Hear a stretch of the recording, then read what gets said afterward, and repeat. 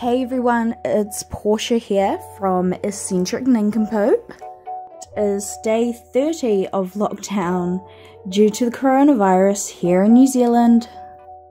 Here is today's envelope decorating video. This envelope was made from 12 by 12 papers from the Uniti Urban Retreat paper pack. This envelope is going to Rachel in America enjoy. In the comments below, let me know what places you want to travel to. Give this video a like and subscribe to my channel to see what other crafty things I make during lockdown. Have a great day!